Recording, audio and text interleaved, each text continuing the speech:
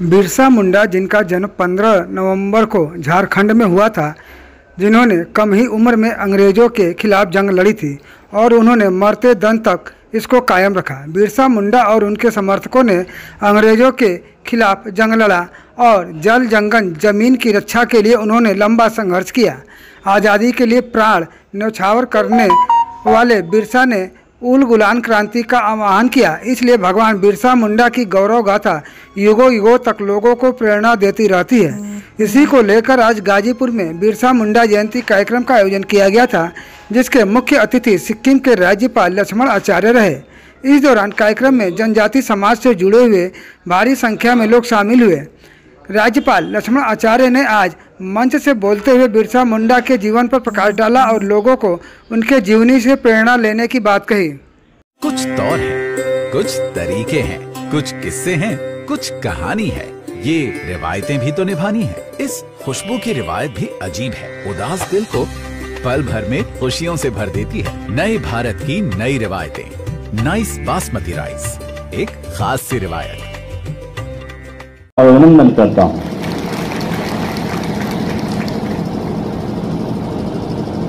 ये गाजीपुर की पावन धरती है। जब देश को आवश्यकता पड़ी तो गाजीपुर ने अपना बलिदान किया है।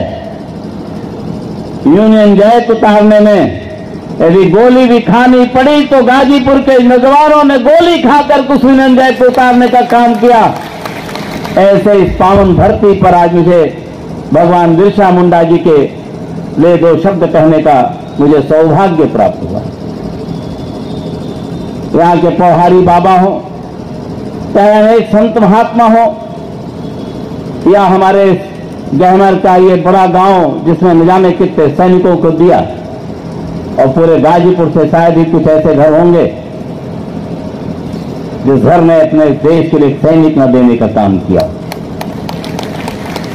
कितने लोगों ने सुधाओं की सुरक्षा करते अपना बलिदान कर दिया आज़ादी की लड़ाई के लिए? पराधीन सुख सपने उनाई। लेकिन लोकमान्य जी ने जब ये बात कहा कि पराधीन सुख सपने उनाई, जो गोस्वामी जी ने लिखा था, दूसरे के अधीन रहकर के सुख की कल्पना नहीं की जा सकती। लोकमान्य जी के आह्वान पर महात्मा गांधी, नेताजी सुभाष चंद्र बोस, वीर सावरकर अनेक महापुरुषों ने अपना सर्वस्व लगा दिया। वरदानियों की धरती है और उसमें भी कहीं हमारा गाजीपुर पीछे नहीं रहा है। गाजीपुर का बहुत गौरवशाली इतिहास। और मैं तो अगर ये कहूँ कि देश के कुछ हिस्सों में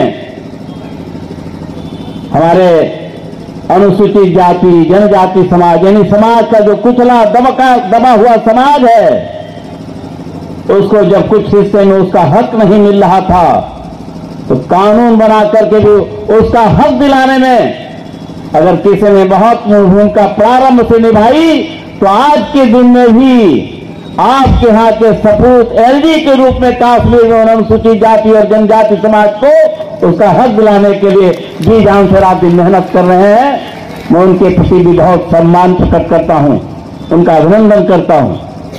साहस के साथ उस सुंदर कश्मीर जिसको केसर की प्यारी कश्मीर कहते हैं, जहाँ रहे वहाँ के विकास का एक रेखा खींचा, वहाँ पर अनेक ऐसे क्षेत्र है, जहाँ लोगों को अपना हक नहीं मिल पा रहा था। उनको दिलाने का काम समय समय पर हुआ है। देश के प्रधानमंत्री माननीय नरेंद्र मोदी जी ने इस बात को कहा कि जनजाति दिवस को एक जनजाति गौरव दिवस के रूप में मनाना चाहिए। भगवान बिरसा मुंडा के बारे में हम सब जानते हैं।